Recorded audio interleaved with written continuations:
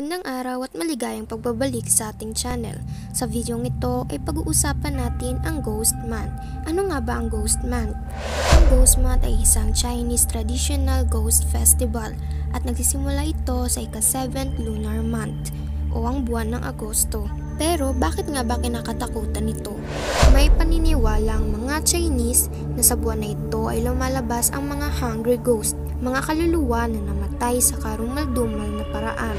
Sabi ng isang feng shui expert, may paniniwala sila na binubuksan ang pinto ng impyerno sa panahong iyon dahilan na panandali ang makalabas ang mga kaluluwa kaya maraming nagkakasakit at di magandang nangyayari tuwing ghost month.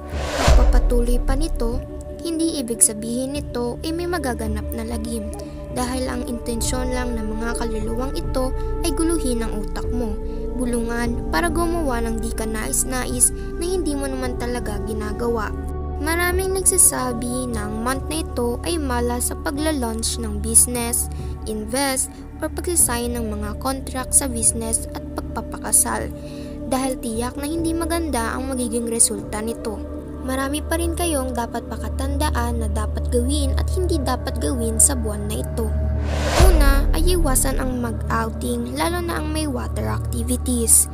Pangalawa ay ang pagta-travel na nag involve ng pagsakay sa eroplano o barko. Kung hindi ito masyadong importante, maganda lamang na i-postpone muna ito para makaiwas sa kung anumang trahedya.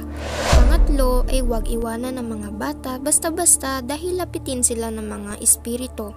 At kung ikaw ay nasa labas pa, dapat makauwi ka na ng bahay bago pa maggabi para maprotektahan mo ang iyong tahanan at ang iba pang kasama sa inyong bahay. Huwag din magpapalinlang sa mga sumisitsit o tumatawag sa iyo lalo na kapag gabi dahil paraan nila ito para makapasok sa iyong katawan. Iwasan din natin ang pagsusuot ng kulay pula o itim na damit dahil ang kulay na ito ay nakaka-attract sa mga kaluluwa. Iwasan din ang pagkukwento ng mga nakakatakot o mga tungkol sa multo dahil paraan na rin na ito ng pagrespeto natin sa kanila. Ilan sa mahalaga na dapat din natin gawin ay ang pagdadasal dahil ang mga taong may mahinang pananampalataya at may negatibong pag-iisip ang pinupunterya nito. Dapat din na may kontrol ka sa sarili at iwasan ng gulo at maging mahinahon. Makakatulong din ang pagiging positibo at pag-aalay ng pagkain. Yun lamang po para sa video ito at sana'y nakatulong ako. Huwag po natin kalimutan mag-like, share, comment, subscribe sa ating channel at pakipindot na rin po ang notification bell para lagi tayong updated sa mga bagong uploads. Yun lamang po at maraming salamat sa panonood.